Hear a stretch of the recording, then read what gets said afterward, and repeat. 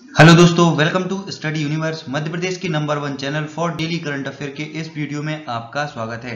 दोस्तों, आज है 8 जून 2019 और यह हमारी एक भी क्लास है। 12 इंपोर्टेंट क्वेश्चन आपके लिए लेकर आए हैं जो आपके एग्ज़ाम और आपके नॉलेज की दृष्टि से बहुत इंपोर्टेंट है।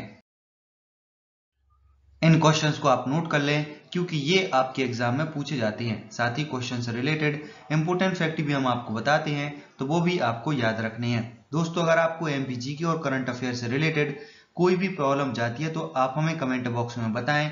हम आपके आंसर ज़रूर करेंगे। और दोस्तों लास्ट दो तीन दिन से करंट अफेयर का एक भी वीडियो नहीं डाला है तो दोस्तों, आज से आपको रेगुलर करंट अफेयर का एक वीडियो आपके पास पहुँच जाएगा। Question number first Madhya Pradesh के किस शहर को संगीत नगरी के नाम से जाना जाता है? तो इसका सही ऑप्शन है मैहर मध्य प्रदेश के मैहर शहर को संगीत नगरी के नाम से जाना जाता है। दोस्तों, इसके अलावा मैहर में कुछ इंपोर्टेंट फैक्ट हैं, आपको वो भी बता दें। तो मैहर में माँ शारदा का प्रसिद्ध मंदिर है, जो पूरे भारत में प्रसिद्ध है। इसके अलावा अलाउद्दीन खां की संगीत एकेडमी और अलाउद्दीन खां का जन्म स्थल, यह भी मैहर में है। तो इतना आपको मैहर के बारे में याद रखना है। नेक्स्ट क्वेश्चन 2011 की जनगणना मध्य प्रदेश की कौन सी जनगणना थी? तो इसका सही ऑप्शन है छठवीं। जो 2011 में हाल ही में जनगणना हुई है, वह मध्य प्रदेश की छठवीं जनगणना थी। दोस्तों, आपको जनगणना का क्वेश्चन आया तो आपको कुछ इंपोर्टेंट फैक्ट जनगणना के बारे में बता दें। भारत की पंद्रहवीं जनगणना थी और स्वतंत्र भारत की सातवीं जनगणना थी। और वहीं अगर बात करें मध्य प्रदेश की तो यह मध्य प्रदेश की छठवीं जनगणना थी।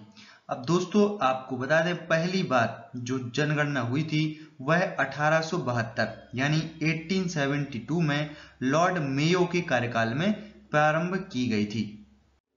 दोस्तों, एक और डिफरेंट क्वेश्चन बनता है, वो ये है 1981 यानी 1981 में लॉर्ड रिपन के कार्यकाल में, जब से लगातार जो है जनगणना भारत में की जाती है। तो लगातार कार्यकाल वाले थे लॉर्ड रिपन 1881 से जो शुरू हुई थी, वो अब तक प्रति 10 वर्ष में जनगणना की जाती है। नेक्स्ट क्वेश्चन किस राष्ट्रीय उद्यान को हलो घाटी और बंजर घाटी स्थित है? तो इसका सही ऑप्शन है कान्हा किसली उद्यान। कान्हा किसली उद्यान में हलो घाटी और बंजर घाटी स्थित है।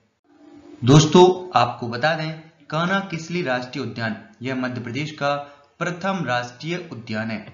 आपको इसके बारे में एक पॉइंट ज़रूर याद रखना है। इसकी स्थापना 1974 में की गई थी, यानी 1974 में, और इसे मंडला ज़िले में स्थापित किया गया है। तो आपको याद रखना है, हलो घाटी और बंजर घाटी कान्हा किसली राष्ट्रीय उद्यान में मौजूद हैं। नेक्स्ट क्वेश्चन हाल ही में आरबीआई ने रेपो रेट में कितनी कमी की है, जिसका सही ऑप्शन है 0.2 प्रतिशत। हाल ही में 0.2 प्रतिशत की कमी रेपो रेट में आरबीआई बैंक द्वारा की गई है। दोस्तों, ये वर्ड दिया है रेपो रेट। इसके बारे में आपको बता दें तो यह दर एक प्रकार की दर है और ये दर आरबीआई छोटी समय अवधि के लिए बैंकों को ऋण देता है। दोस्तों आपको बता दें, अगर रेपो रेट बाजारों में बढ़ती है तो ब्याज दरों में भी वृद्धि होती है। और अगर रेपो रेट कम होती है तो ब्याज दरों में कमी होती है, जो हाल ही में 0.2 प्रतिशत की कमी आरबीआई ने की है। अब दोस्तों, बात आई है आरबीआई की तो आपको इसके बारे में बता दें। आरबीआई का full form reserve bank of India होता है। इसकी स्थापना 1 अप्रैल 1935 में की गई थी। आरबीआई का हेडक्वार्टर मुंबई में है और गवर्नर है शक्तिकांत दास। तो दोस्तों, इतना आपको आरबीआई के बारे में याद रखना है। नेक्स्ट क्वेश्चन हाल ही में cricket world cup the Indian challenge नामक पुस्तक किसने लिखी है? तो इसका सही ऑप्शन है आशीष रे। हाल ही में आशीष रे ने यह cricket world cup the Indian challenge नामक पुस्तक लिखी है। आशीष रे द्वारा यह पुस्तक भारतीय दृष्टिकोण से क्रिकेट विश्व कप के इतिहास पर लिखी गई है। दोस्तों, इस पुस्तक में 1975 से 2015 तक के विश्व कप का वर्णन किया गया है। तो आपको ये बहुत इंपॉर्टेंट क्वेश्चन है। Cricket world cup the Indian challenge book Ashish Ray द्वारा लिखी गई है। नेक्स्ट क्वेश्चन हाल ही में किस राज्य में खड़क प्रहार 2019 का आयोजन किया गया है। तो इसका सही ऑप्शन है पंजाब। हाल ही में पंजाब राज्य में खड़क प्रहार 2019 युद्ध अभ्यास का आयोजन किया गया है। दोस्तों हाल ही में पंजाब में भारतीय वायुसेना ने 27 मई से 4 जून के बीच खड़क प्रहार नामक प्रशिक्षण अभ्यास का आयोजन किया था जो हाल ही में समाप्त हुआ है। दोस्तों अब बात आई है पंजाब की तो आपको पंजाब के बारे में बता दें। दोस्तों, मैप में ये जगह पंजाब को दर्शाती है।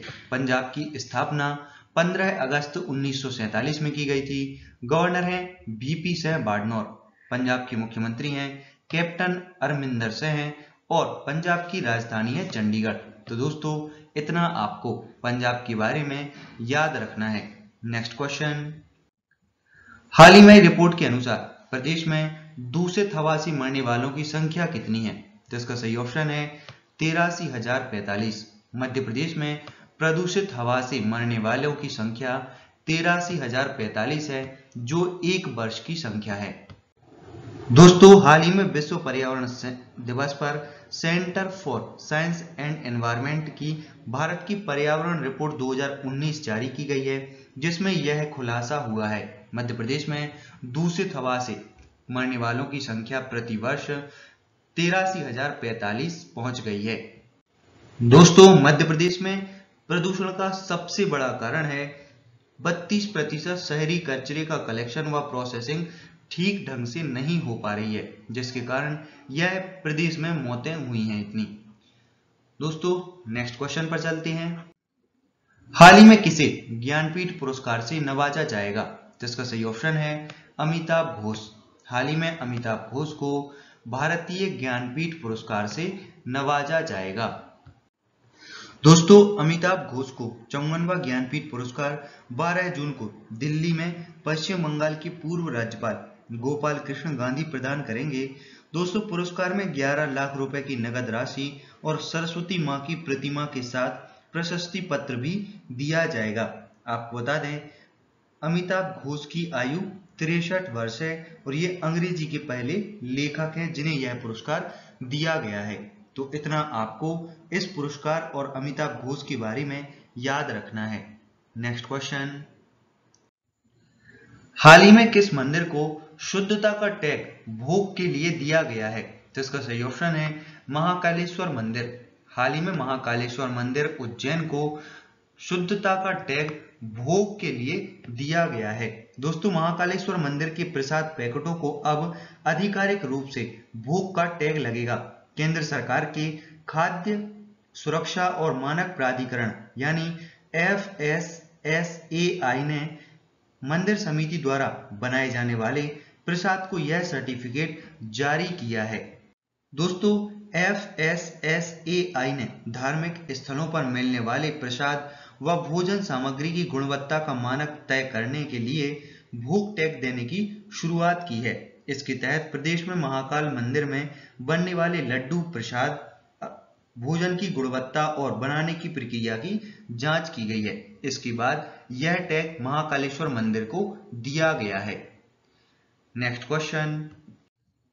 हाल ही में किसे पंचायत राज आयुक्त बनाया गया है? जिसका सही ऑप्शन है संदीप यादव। हाल ही में संदीप यादव को पंचायत राज आयुक्त बनाया गया है। दोस्तों, ये उर्मिला शुक्ला की जगह लेंगे। यानी संदीप यादव उर्मिला शुक्ला की जगह लेंगे। संदीप यादव से पहले उर्मिला शुक्ला पंचायती राज आयुक्त थी, लेकिन अब संदीप यादव को बनाया गया है। नेक्स्ट क्वेश्चन हाल ही में किसे बुरहानपुर का कलेक्टर बनाया गया है? जिसका सही ऑप्शन है राजेश कुमार कौल। हाल ही में राजेश कुमार कौल को बुरहानपुर ज़िले का नया कलेक्टर बनाया गया है।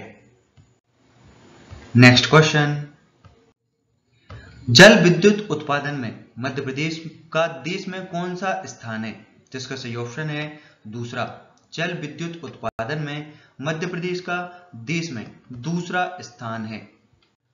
दोस्तों, इस जल विद्युत उत्पादन में पहला स्थान असम को है, वहीं दूसरा स्थान मध्य प्रदेश को प्राप्त है।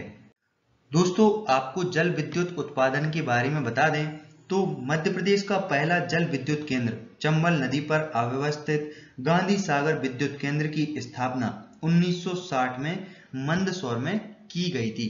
तो ये पहला जल विद्युत ग्रह था, जहाँ से मध्य प्रदेश में पहली बार जल से विद्युत बनाई गई थी। यह चंबल नदी पर 1960 में मंदसौर में बनाया गया था। वहीं अगर दोस्तों बात करें, मध्य प्रदेश में सर्वप्रथम विद्युत उत्पादन कब किया गया था तो ये दोस्तों 1905 में शुरू हुआ था। 1905 में पहली बार मध्य प्रदेश में सर्वप्रथम विद्युत का उत्पादन किया गया था।